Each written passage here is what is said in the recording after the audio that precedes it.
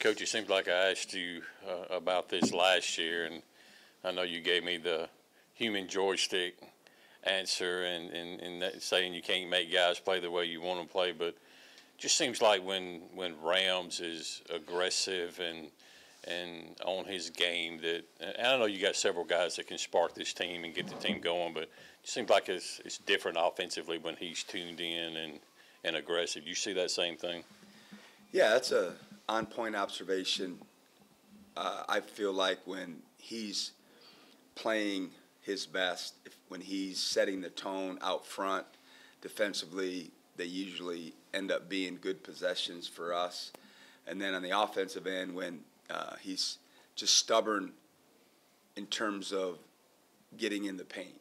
And then when he gets in the paint, really working with him on not jumping to pass, um, um, ju- uh, jumping to find a pass, but he certainly um, is better when, like most players are, when he plays off two feet.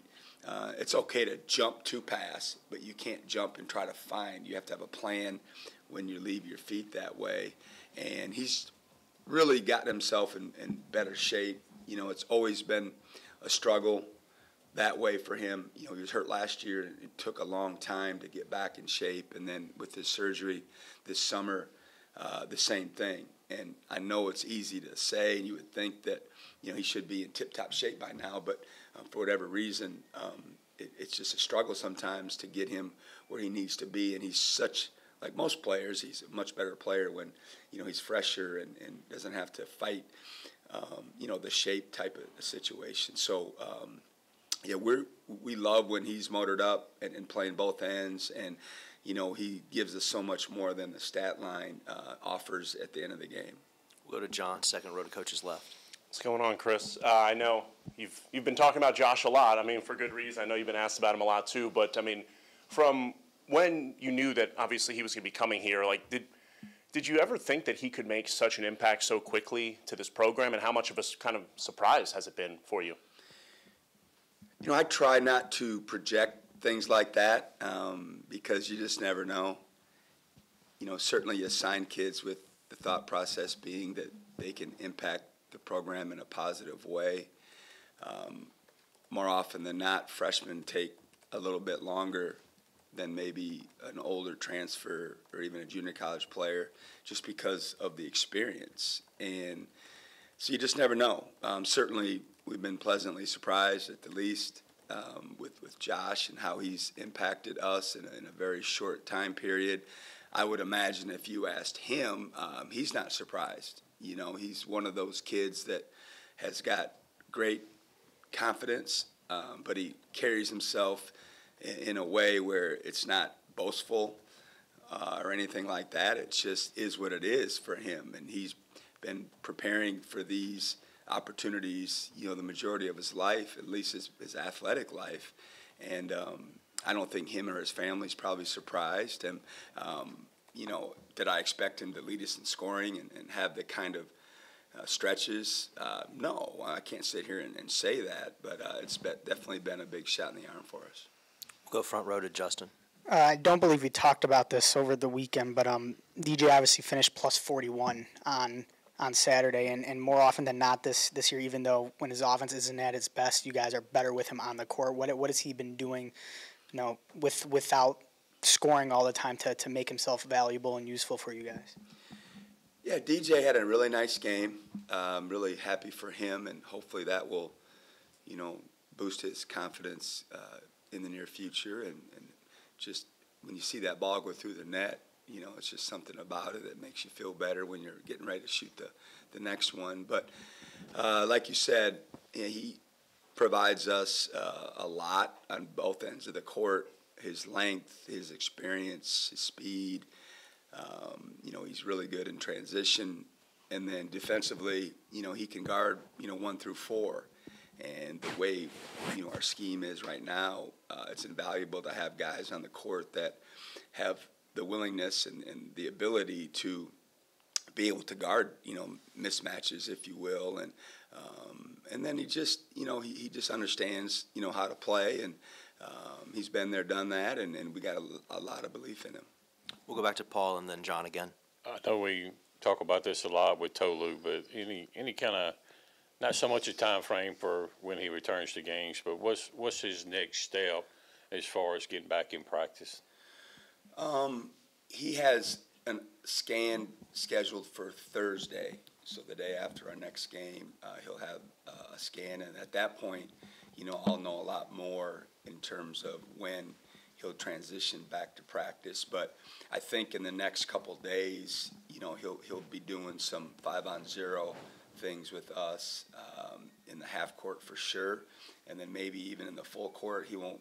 He's still not allowed to have any contact or anything like that. But you know, he's he's been shooting, you know, on his own and getting some free throw free throws in, some jump shots, some you know stuff around the basket, just one on zero. Um, so we're hoping, you know, fingers crossed that we get a good update on Thursday, and then I'll know more then. Go back to John. Um, I I was going to kind of even ask about Tolu, but in terms of a attacking kind of rehab stint, I mean, for, for a guy like that who's had kind of injuries in the past, I mean, I'm, I'm sure that can be a, a tolling and taxing thing. How do you think he's kind of responded to it, uh, you know, in the last couple of weeks, especially as maybe a return could be, you know, sooner if potentially? Even on Thursdays. Unfortunately, um, for his sake, he has a lot of experience in this matter, so he knows what it takes. And you know, most of us, obviously in this room, know him fairly well. He's been around, and everybody, you know, talks about his work ethic, and it's the same uh, that I've seen, you know, going through this injury situation with him. The first 48 hours, you know, that was that was rough. Um, you know, he was he was pretty down and uh, took a big toll on him mentally and, and certainly the, the surgery, etc. But ever since then, he's had an unbelievable mindset. Uh, there, there's a couple times when, like game day, you know, he, he gets little little down because you know he's ready to play. You know, he, he feels the energy and the vibe, and certainly you work, work, work, and then on game day, you know, you get to go out there and perform. And um, them are the only days I've seen him where you know it kind of bothers him. But other than that, um, you know, he's he's a model uh, student athlete when in terms of you know his, his appointments, his rehab, his uh, willingness to come in, you know, over and over and over daily and, and work with Andrew Kegley, our, our trainer, uh, who's done an excellent job uh, with with all of our guys, but including Tolu. We'll go front row right to Benjamin. Yeah. Now, looking ahead now to Wednesday's game with Murray State, I know historically a real strong uh, mid-major program, uh, some strong offensive performances from them this year, even though they haven't uh, had uh, gotten off to a great record. So, yeah, what do, you- what do you see out of them in terms of the challenges that they're going to present for you? Yeah, like you said, you know, historically, uh, great mid-major program, had a, got a really good players and coaches that have come through Murray State, and they have another good one in Steve Prohm. I know him well. He's uh, a great guy and a really good coach, and he's you know getting getting that thing going again uh, down there for in his second stint. But um, they're just very well schooled. Um, they, they try to play mistake-free basketball. You know, they're real solid on the defensive end. They're just really going to try to, you know, play in the gaps and, and you know, almost dare you to, to shoot the ball and, um, you know, try to protect, you know, the painted area as best they can. And then what they're known for is, is the other end. I mean, they run uh, as many sets as probably anyone we've faced thus far, and, and they really pride themselves on their on their pace and their execution. And um, you know, they share the ball really, really well, and um, they're very well schooled, like I said, on both ends. But that offensive end will, will be a challenge for us to, uh, you know, try to take some things away from them. Go ahead, Danny P.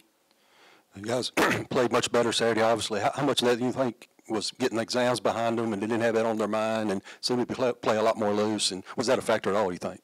Yeah, I don't know. I mean, that's something you'd probably have to ask the- the players, um, you know, about that stress and if that played a part in it uh, at all. But um, it was it was much needed. You know, just the win in general, and you know, it to be stress free for the most part.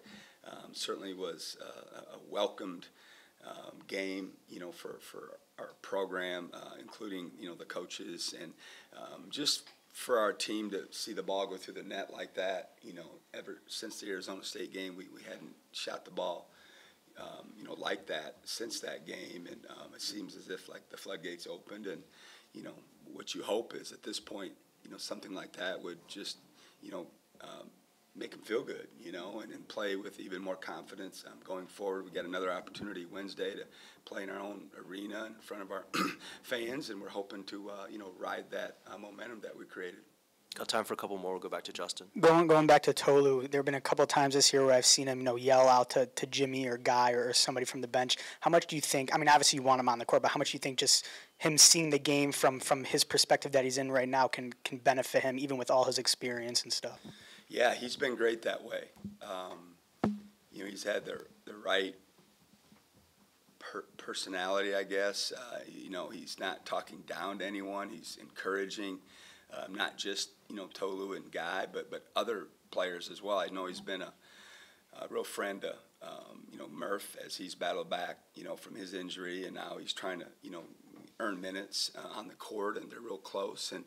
Um, I can hear him, you know, talking to him in practice quite a bit and encouraging him. But um, I, I think I've seen him uh, e- even grow that way um, in terms of understanding what a leader is and, and how he can help, you know, other players because of the respect that he's earned, not only you know with his play, but just with his approach and mindset on a daily basis. And um, he's built real good relationships with a lot of the players. And certainly, uh, it's one thing to lead when you're not able to play. And now, you know, as he transitions back, we're hoping that um, he can give us a boost that way too.